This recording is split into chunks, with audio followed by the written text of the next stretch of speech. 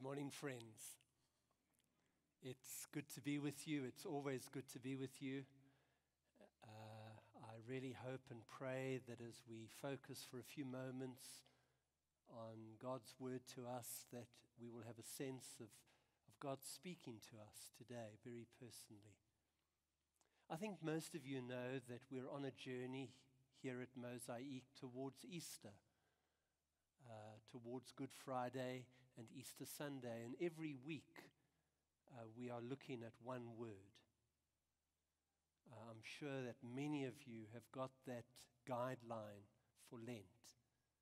And so far we've looked at two words. We looked at the word listening. Lent is all about listening.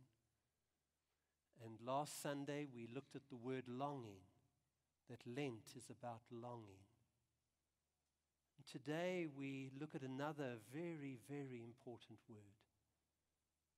Lent is also all about turning. Turning. So, what I want to do is just read to you a very brief passage from Scripture. It's from the Gospel of Mark. It comes in the first chapter. And this is the moment when Jesus begins his public ministry. This is the first sermon, and this is the first thing that he tells people to do. The very first thing that he tells people to do. And I want you to really tune in to this passage uh, very carefully today. It's Mark chapter 1, verses 14 and 15. After John, that was John the uh, baptizer, after John was put into prison, Jesus went into Galilee proclaiming the good news of God. Now, I want you to pay attention to what the good news is. He said, The time has come. The time has come, he said. The kingdom of God God's presence, God's power. The kingdom of God has come near. Repent. Turn. Repent and believe the good news. And so we take those words spoken by our Lord Jesus Christ and we put those words at the center of our worship today. We pray that God will speak very personally to each one of us. I don't know if you heard that uh, delightful story of that young, that young man who was studying to be a priest in the Catholic Church. And uh, he went through years of training, and eventually the moment came when he could take his very first service. Now, some of you may have worshipped within the Catholic Church, and you, it's very interactive, it's very participative. You know, the priest says a few words, the minister, then the people respond. The minister says, May the peace of the Lord be with you. And then the minister, all the people respond, and also with you. And so this young man walked to the podium uh, to, to begin the service. And there was something wrong with the, with the mic. And so he kept tapping it and he looked towards the people at the sound desk and he said, There, there is something wrong with this mic. And all the people responded, and also with you.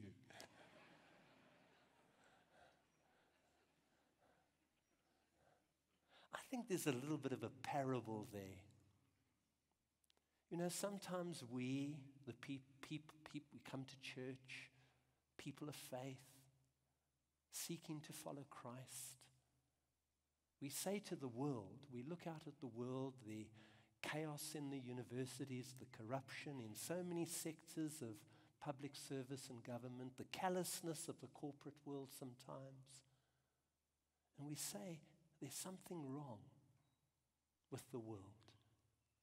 And then the world looks at us, at our self centeredness, our selfishness, our indifference, our apathy. And then the world says to us, and also with you, and also with you. And I want to suggest that that is most probably one of the greatest challenges facing the church at the moment. It's the challenge of credibility. Of credibility. Are we credible?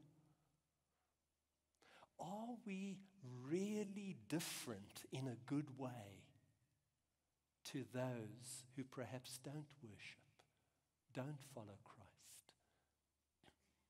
Do our words and our actions come together? Do we walk the talk? Are we the real deal or not? And all I want to do today, and I, I do it with a lot of seriousness, I guess, today.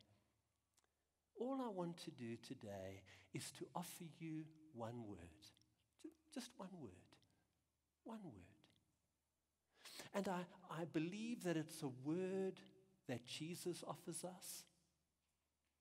It's a word that I think can help us overcome the credibility crisis that we're often part of. It's a word that I think can bring our beliefs and our behavior together. It's a word that can bring our doctrine and our doing together. It's a word that can bring our worship and our lives together. One word. It's the word turning, turning, turning. Now, the biblical word for turn is repentance. I want you to get hold of that today. The biblical word for turning is repentance. And repentance is a theme that runs through the Old Testament and the New Testament. And we need to have some sense of what repentance, authentic repentance, is all about. It's not about self condemnation, it's not about self loathing. It's not so much about kind of beating, you know, beating our chests and saying how bad we are while there is always a certain remorse in, in true repentance, essentially, repentance is about turning. It's about turning. Repentance is about turning our lives in God's direction. It's, it's, it's about turning. We, you know, so often we live in this kingdom of self where I am, you know, I will play God and I call the shots and it's about my will. And it's turning from that kingdom to another kingdom, God's kingdom where we, where we say to God, God, I want you really to be Lord in my life. I want your will to be absolutely primary in my living. That's repentance. It's this gradual turnaround in the way we think about life, the way we look at life, the way we relate to each other the way we live every day. I've been living with this word over the last few hours and days. And there's some things that have just become a little bit clearer to me, especially as I've looked at that reading in Mark chapter 1, verses 14 and 15. And all I want to do today is I want to plumb the depths of repentance. What really is it? Because if there's one thing that can heal the credibility crisis in our lives, it's genuine repentance. So let me just share a few thoughts with you. And uh, as I share these thoughts with you, I really want you to know that I have wrestled very deeply with this. And there's a sense in which God has had to do a lot of work in my own life, uh, just as I've prepared. And I think the first thing that I want to say is this. When God calls us to repent, when Christ calls us to, re- to repent, it's not a threat. It's not a threat. God is not threatening us. Christ is not threatening us. It's not a threat, it's an invitation. It's a wonderful, grace filled invitation into something new for our life. Those words are going to be up on the screen again. Jesus comes in, let me just take you back, comes in, and he says to the people, the, the kingdom of God has drawn near. I'm bringing the kingdom to you. Now, in simple Eastern English, Jesus is saying another kind of life is available. Your life, Trevor, doesn't have to be like this. There is something different that I bring to you. Another kind of life. Life in the kingdom of God. Life where God becomes real. Life where I begin to change and become the person that God wants me to be. Life in which I begin to experience the resources of God's adequacy and God's power on a moment by moment by moment basis. Jesus is saying this kind of life is available. Now, repent, turn, step into it. It's an invitation, it's a wonderful invitation. I need to confess, you know, for a long, long time, I had a very negative view of repentance. It was a word that threatened me. Whenever someone spoke about repentance, I had a mental picture that came into my mind. And it was always the picture of an elderly, I need to be careful, of an elderly man with a long coat holding a sign saying that repent for the end is near. That's not the gospel.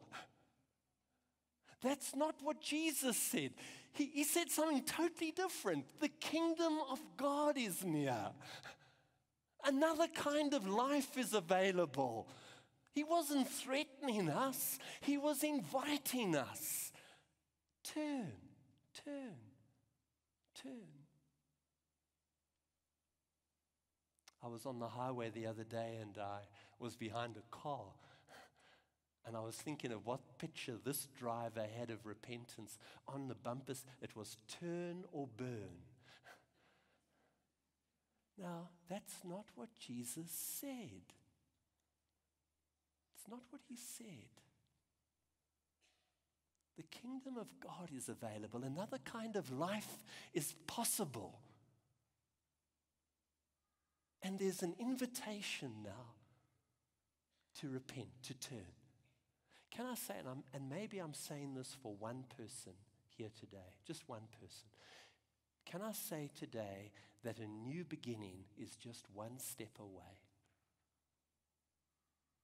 A new beginning for your life is just one step away, and it's the step of repentance. Of repentance. One step away.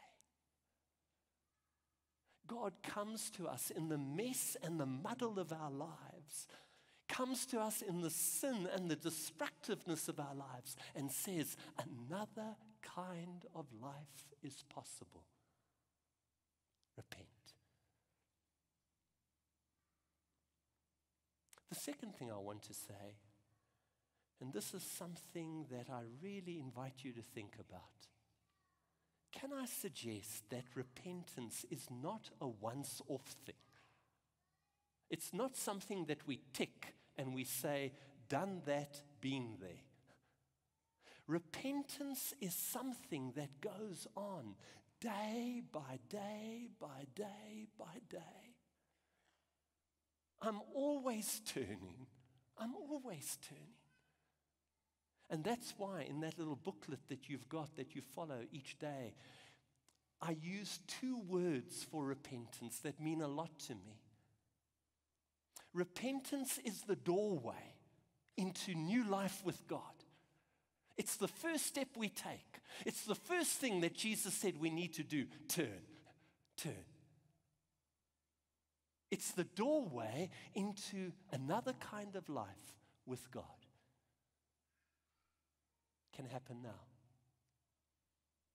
It happened for me walking down, and I've shared this many times with you, down a street in Port Elizabeth, a 16 year old, struggling very deeply with my life, the meaning of my life, what I was going to live for. I'd never been to church in my life. Never. Never. I had met one person, a friend, who had told me about Christ. And he was credible. He was a credible witness. I believed him because his words and his life went together. And I wanted what he had as a 16 year old. I could see something beautifully different in my friend's life. And he told me about Christ. And I remember walking down Havelock Street in the best city of South Africa, which you know is Port Elizabeth. And I just remember saying, Lord Jesus Christ, I, I just want to turn to you and give my life to you, and I want to learn to start to follow you. But that wasn't the first time. I've discovered, I don't know if you've discovered this, but repentance is also the pathway by which we live each day with God because every day I discover stuff in my life that goes against God's way.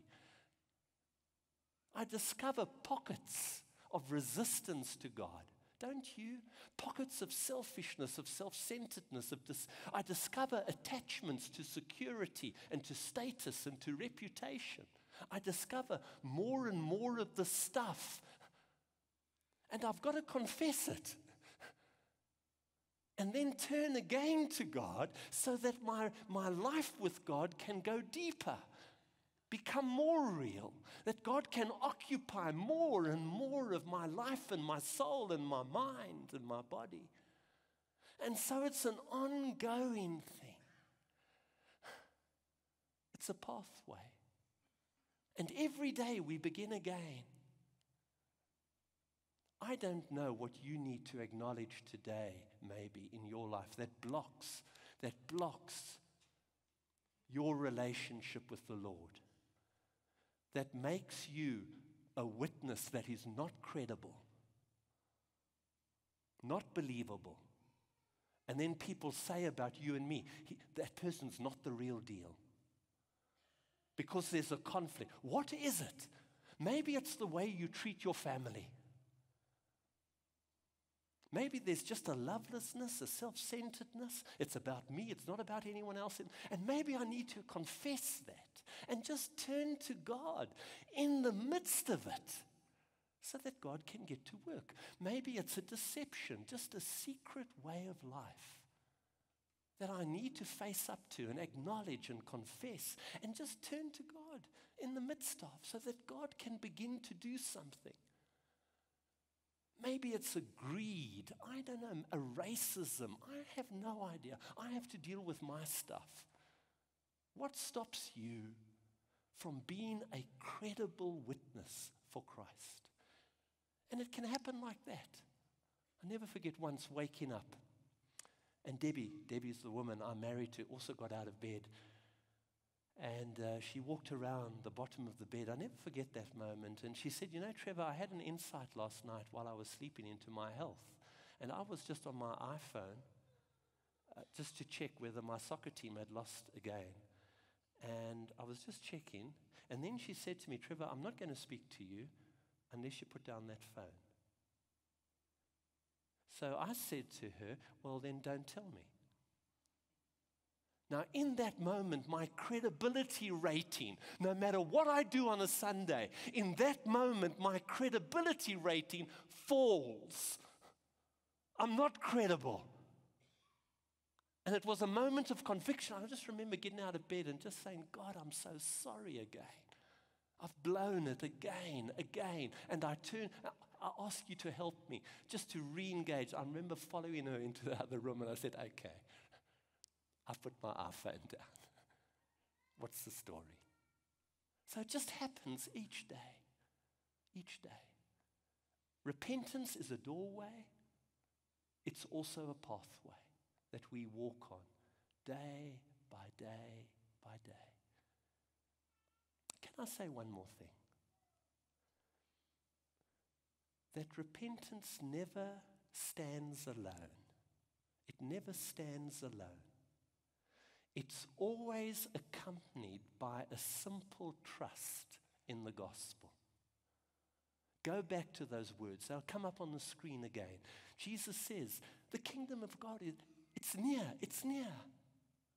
And then, and then he says, repent. That's the one thing. And then he says, believe, believe the gospel. The two go together. As we turn to God, we believe the gospel. we believe the gospel that we are really loved by God that God is for us, not against us, and we believe that. We believe that we are accepted as we are as we turn, like the prodigal son was accepted home, even though he was smelling of pigs. That we are forgiven, that we are forgiven, that Christ has done everything necessary for the slate to be wiped clean. I trust that. And so I turn, trusting the good news, trusting that God's available even for me, even for you, where we are in life. The picture that I have, and I end with this the picture that always helps me to understand repentance and trust. We either live with clenched fists or open hands with clenched fists, and we often live like this with clenched fists, we say no to God, no to what Christ has done, and I'm going to live my own way, God, and you stand back, and I want nothing to do with you. That's clenched fists. Or we can slowly open our clenched fists, two hands, the hand of repentance and the hand of trust.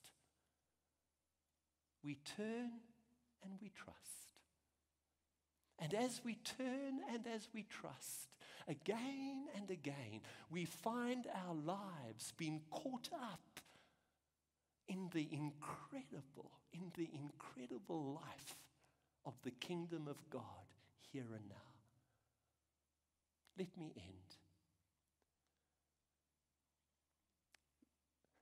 Wouldn't it be wonderful if people kind of in the community around South Africa were to say, you know, the people who go to Mosaic, they're not perfect. They're not, and they never will be. But they are people who live in an authentic repentance day by day by day. They're the real deal. They're credible. They're believable.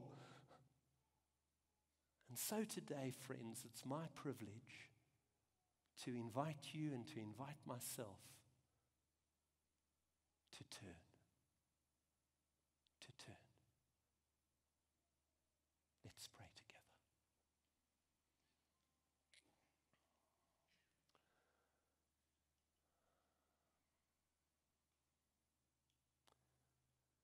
God, we talk about deep things here on a Sunday. We try to find words, stumbling words, to communicate something of the depths of your message. And we thank you so much that you that, that you are available to each one of us, that your kingdom is available, that another kind of life is possible in the midst of our pain, our bewilderment, our confusion, our fear, in the midst even of our sin, you come to us. And you invite us to turn, trusting your goodness and your grace and your mercy, your deep love.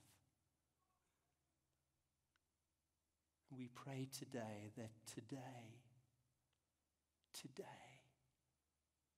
will be a day of turning. This is our prayer. We offer it to you with all the love and all the longing and yearning of our hearts. And we say together, as God's people, Amen. May the joy of the risen Christ be with you. God bless, friends. God bless.